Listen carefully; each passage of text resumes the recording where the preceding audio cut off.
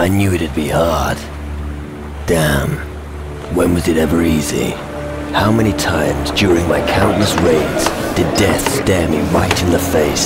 But that hideous face staring back at me was beyond even my imagination. There is no escape.